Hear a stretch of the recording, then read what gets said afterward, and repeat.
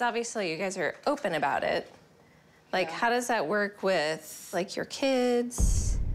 Tony and I have three kids together, and they don't know that we're swingers. At this point in time, I really don't foresee it ever actually having a, a negative impact.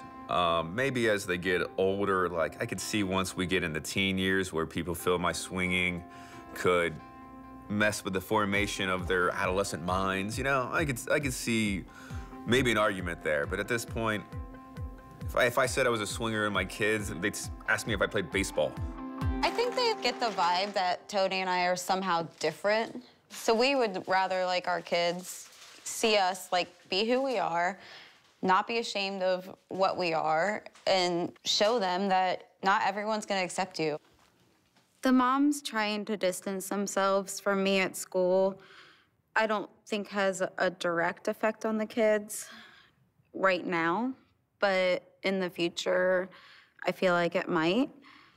It's a constant battle, you know, it's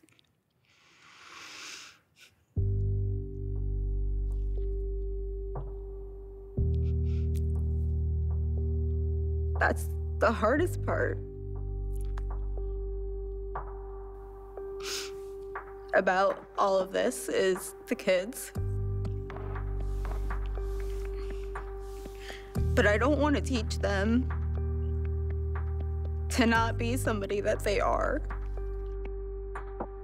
Just to blend into society and be what everybody else wants you to be. What if one of my kids is gay? What if one of them's a transsexual?